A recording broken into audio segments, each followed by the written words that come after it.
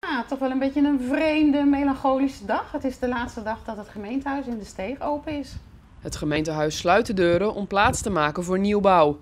Bestuursadviseur en woordvoerder Gerda Peters werkte er vanaf de eerste dag op 15 augustus 1978. Ik ben eh, hier precies begonnen op de dag dat het gemeentehuis uh, ja, open ging voor het publiek. Uh, ik woonde in Dieren, ik kwam op de fiets. Ik had geen idee waar ik mijn fiets neer moest zetten en waar de ingang was. En, dus ja, ik bedoel, het was ook echt mijn eerste baan, dus dat was al spannend. En dan in een nieuw gebouw, dus ja, wel spannend. Na 43 jaar in hetzelfde gebouw gaat ze verschillende dingen missen. Het gebouw, alle plekken eigenlijk wel. Hè, waar, uh, want overal heb je weer herinneringen aan je collega's waar je mee gezeten hebt en uh, wat er gebeurd is. Maar het is meer het gebouw op zich, weet je. De omloop, dat noemden wij altijd de omloop op de eerste verdieping waar we alle recepties hadden en bijeenkomsten. En uh, ja, leuke eindejaarsbijeenkomsten. Dat is denk ik wel toch wel waar ik ja, het meest nog aan terugdenk.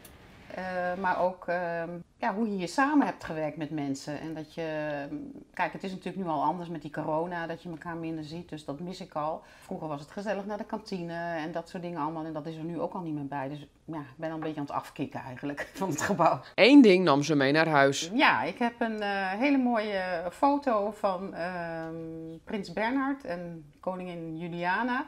En die is eigenlijk, nou, heel lang met mij meegegaan. Uh, altijd met een mooie gouden lijst eromheen. En elke kamer waar ik zat, uh, nou, heb ik hem uh, opgehangen. En die heb ik nou mee naar huis genomen.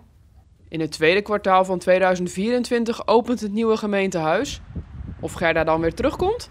Daar heb ik voor mezelf nog niet helemaal een besluit over genomen. Want ja, officieel moet ik tot mijn 67ste. Dus dan zou dat kunnen dat ik daar ook nog ga werken. En ik heb de, ja, de plannen gezien. Ik vind het hartstikke mooi. Dus ja, ik, ik weet het nog niet.